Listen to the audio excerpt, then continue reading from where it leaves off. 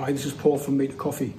I just wanted to do a quick unboxing and a quick review of the soon to be released J Max from 1Zpresso. I was really lucky to get one of these from 1Zpresso recently and I just wanted to do a very brief unboxing and talk a little bit about this soon to be released grinder. Okay, you, obviously you get the, the cylinder case with this one, so you're going to get this kind of product carton and inside that obviously you've got your cylinder case. Just put this box aside. Right the cylinder case is the same one that you would get for the other 1Zpresso products. Um, the zippers and the name on the side there. Inside you've got okay that's your grinder. Okay. The thing that's slightly different about this case is you've now got a little flap at the top here that obviously when you close it and you've got the handle, it doesn't scratch the actual product. So that's a nice little inclusion. That's really nice straight away. Um, the brush is also a little bit different. Um, it's got the name on as usual, but on one side this is kind of, it's a white brush and on the other side it's the softer normal black brush. So they've kind of changed that a little bit from the usual kind of light brown horsehair on one side and then the softer softer brush on the other side. So that's slightly different. Obviously with this one, you get the standard ones, you press Presso blower. So that's really nice inclusion. And you get an anti-slip ring, which is really different to the other ones that you used to get. The other ones used to be a little bit more thin and a different colour. And these ones are kind of black, in, obviously in keeping with uh, the colour of the grinder itself. So that's nice, you've got the logo on one side, you've got the name kind of around the, the ring there. The handle, obviously that tucks nicely into there and the grinder itself is in this side.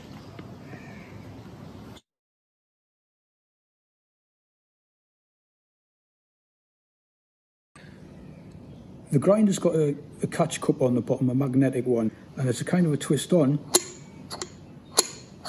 Kind of, you can twist it left or right, and it'll find its place with the magnets. So it's easy, kind of easy to take off, and it just kind of clicks into place like that. But as you can see, it's very nice, kind of got a good set of magnets, strong magnets in there.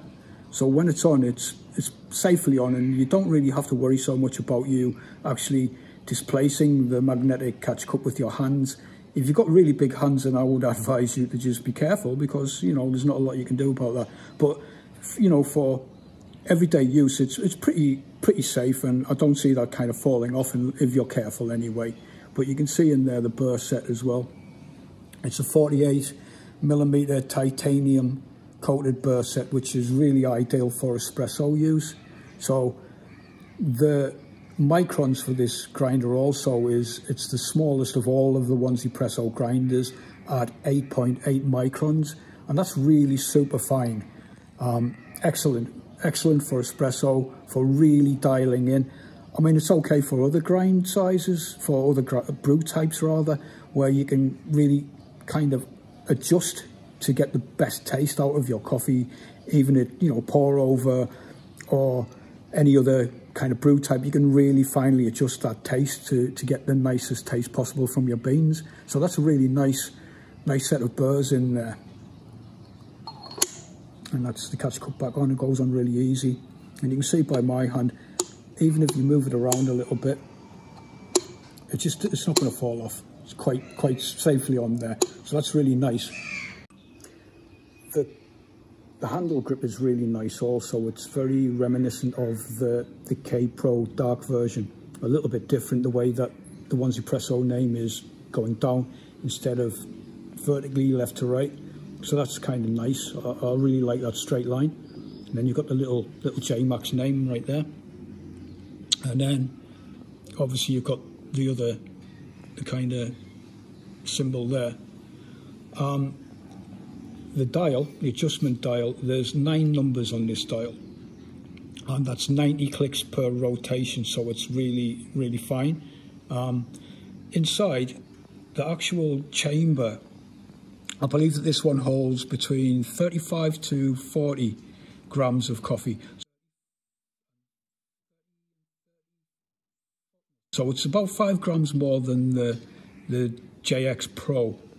Um, also, the burr shaft inside, the way it's the way it's kind of got the, the, the fixed shaft in there, it seems to be a little bit more open than the K Plus. That seems to have another arm further down. Um, I'm not really sure why, but I think the good thing about that is it means you can obviously you can get more more beans in there, so it's just a little bit more space, and maybe that's the reason they've done that. I'm not really sure, um, but that's what the, the, grinder looks like without the handle on. Um, it's nice. It's really nice. Very nice colour. Very sim similar to the K Plus Dark version, but I feel a little bit. The top is different. The adjustment dial on the top doesn't have the red dot with the other dots around that, so that's a little bit more minimal. Quite nice. Another thing with this grinder is I've noticed that the handle, the actual handle here, is a little bit longer than the JX Pro and the JX as well. And I think that's obviously it'll assist you with grinding, obviously on the finer grind size. Um, it'll just give you a little bit more, you know, space to get a comfortable movement on that. So that is a little bit better by probably about 10 millimeters. It's, it's significantly longer um, so that's kind of nice as well. It'll just feel a little bit more comfortable when you're grinding. So that's, that's also a good inclusion. And this is what the burrs look like. Like I said earlier, these are 48 millimeter titanium coated burrs. Very, very good, very long lasting, um, especially for espresso. They're very, very nice. Um, you can see that the actual burrs can be replaced at some point um, Wannsee, Press, 1Zpresso are looking into um, starting a burr replacement service, so when that's up and running, obviously you can replace your burrs at some point, but these are, because they're titanium coated, they should last you, you know, considerably longer than just a stainless steel pair of burrs, or set of burrs rather. Um, I've noticed also that some people used to get a little bit confused about the spring in this because it was tapered for some of the earlier versions, so you weren't really sure when you dismantled your, your burrs for cleaning which was the correct way to to actually put that back on. So again, this is just it's a standard shape.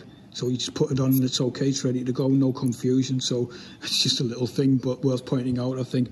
But the burrs are really beautiful, really nice, nice set of burrs there and like I say, should last you considerably longer than normal burrs. Okay, this is the outer burrs, and you can see from the underside where the magnets are. Um, that's the way it fits onto the bottom of the grinding, the grinder's body. Um, you can see they're really, really nice burrs. Um, totally finished, nice black all the way. And from the inside, you can see also what they look like there. They're really nice, nice solid set of outer burrs. Very nice. So yeah, that's, that's what they look like. Another inclusion in this grinder is this. It's kind of an indication of how open or how closed your burrs, uh, sorry, your adjustment dial is. Um, obviously, counterclockwise is to open and clockwise is to close. So if you closing your burrs, you'll see how that's going sort of down and covering those up. And it's kind of a visual aid, I suppose, to just let you know, you know, where, where your burrs are and where your adjustment dial is, how open it is, I suppose. I don't think it serves any other purpose than just a visual aid, to be honest, but it's a nice little inclusion. I know a couple of other brands of grinders have this kind of design as well, but I just think it's nice. It's something else just to give you an idea of where you are. Um, but yeah, that's, that's kind of nice as well. If you take that off completely, the adjustment ring, adjustment dial rather. Okay, and you can see underneath those ribs, they, those are the things that's giving the, the clicks, the noises when you're adjusting. And again, that's kind of a, you know, an, another guide just to kind of give you a little bit more comfort in when you're grinding and it's not silent and there's a lot there because this has got a lot more adjustments, but you can kind of see from that how much is there. Um, obviously on here you've got the bearings there, there, and there, which again make the noise when you're when you're adjusting. So that's what that looks like with the top ring off. Um, you can see inside there the bearing shaft is pretty open. There's not really much, you know, either way, either side of the bearing shaft. Where the the K Pro, I believe, has got an extra arm, but that's pretty open. So obviously you can get a little bit more beans in there. So that's nice. Uh, that's what that looks like in there. So that's pretty much dismantled the whole of the grinder and that's what the individual parts look like. 1Zpresso announced recently that they had discontinued the JE and the JE Plus, and at the time I wasn't really sure why. Um, and then a little bit after that, they, they announced that they were going to release the J Max. And that seemed like quite a long time ago now. And, and they they kind of didn't say anything for a while, and then all of a sudden they kind of told me about it and said they were going to send me a sample copy of the J-Max, and I'm really, really grateful for that. It's really, it's it's a nice gesture, and, and it's really, it's nice that a company actually look after their dealers that way. So just want to give, you know, 1Zpresso a little bit of credit for that, that they really are forward-thinking company, and I like that.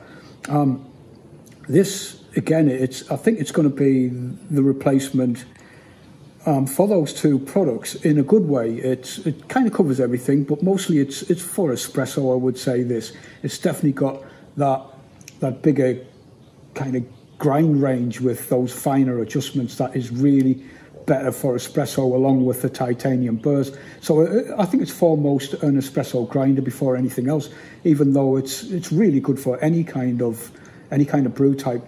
Um, so I did I did speak to 1Zpresso and they do say that they're going to release another grinder later in the year, but I can't really say much about that right now because I don't have a lot of information. But that's something else that I will kind of talk about a later date when I get more information about that. So I'm kind of excited about that also.